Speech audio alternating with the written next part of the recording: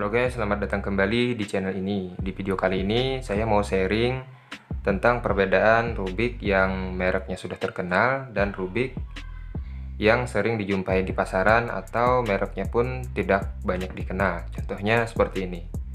Ini Rubik yang dibeli di pasar tradisional, harganya pun kisaran 25 ribuan. Rubik ini dijual tanpa kotak dan hanya dijual dengan menggunakan kemasan plastik. Nah, perbedaannya adalah dari center. Jadi, kalau Rubik yang seperti ini, centernya tidak bisa dibuka. Dan corner cutnya sangat susah sekali, bahkan tidak bisa ya, jadi tidak bisa dipaksa. Reverse-nya pun juga tidak bisa. Nah, seperti ini pun akan sangat terhalang. Jadi, Rubik yang seperti ini tidak disarankan untuk speed tubing. Rubik ini bisa digunakan untuk belajar ataupun untuk pemula ya. Kemudian yang ini adalah Rubik yang sudah bermerek. Jadi ini merek atau brandnya adalah Yongjun. Jadi ini versi white base. Nah, kalau yang sudah bermerek seperti Yongjun ini, senternya sudah bisa dibuka. Nah, kemudian di dalam sini ada mur. Kalau murnya ini kita setel, maka tekanan dari putarannya ini bisa kita atur. Jadi tergantung kita mau lebih kendor ataupun lebih kencang. Kalau kencang maka putarannya akan terasa seret. Nah, kalau lebih kendor maka akan mudah diputar seperti ini. Nah, itu ya. Jadi ini sudah bisa dipakai untuk speed tube. Oke.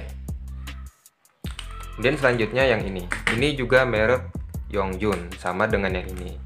Tapi kalau ini white base, jadi ini white base ya. Kalau yang ini adalah black base. Ini Rubik Yongjun namun saya kasih stiker dari brand Moyu Weilong.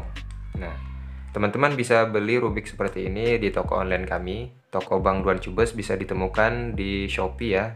Linknya ada di bawah. Nah. untuk corner cut pastinya ini sudah lumayan sekali. Nah sudah bisa. Karena ini juga sudah saya setel supaya corner cutnya mudah. Untuk reverse juga sudah lumayan. Kalau 45 derajat seperti ini masih ngelak sih. Nah ya. Untuk corner cut kalau 90 derajat masih belum bisa.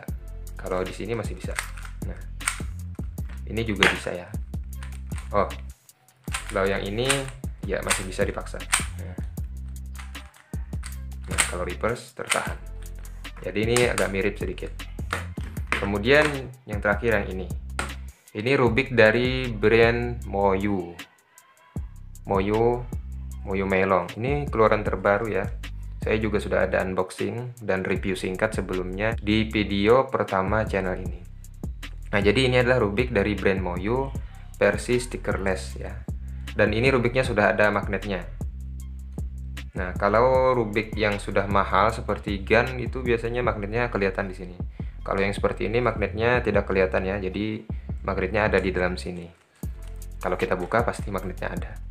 Nah, untuk mengetahui Rubik itu bermagnet bisa kita rasakan. Nah, seperti ada tekanan tarik menarik. Nah, seperti itu. Nah, kemudian di tengahnya juga ada mur untuk menyetel tekanan per yang ada di dalam Rubik ini. Dan ini sangat disarankan sekali untuk speed tuber ya, Kenapa? Apalagi jika speedtubernya pemula yang belum punya budget banyak, Rubik ini sangat recommended sekali karena harganya hanya sekitar 75 ribuan. Rubiknya sudah bermagnet dan sangat nyaman dimainkan. Nah, corner cutnya sampai 90 derajat masih bisa. Nah, kalau reverse juga luar biasa. Nah, seperti ini. Nah, kalau saya ingin kalau 45 derajat sih masih ngelak ya nah, nah terkadang bisa oke jadi sangat bagus sekali Rubik ini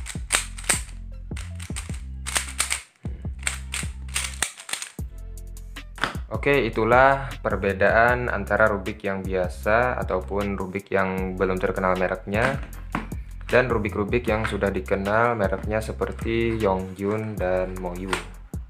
Yang pasti jika harga Rubik dan brandnya sudah terkenal, otomatis kualitas Rubiknya pun juga luar biasa. Contohnya seperti brand Moyu yang sudah sangat terkenal ya. Apalagi pemegang rekor dunia saat ini, Yu Shengdu itu menggunakan Rubik Moyu. Oke, terima kasih banyak telah menonton video ini sampai habis. Jika kalian suka dengan video ini, silahkan di like. Kalau tidak suka, silahkan dislike. Kritik dan saran dari kamu sangat berguna untuk channel kami. Kita bertemu lagi di video selanjutnya.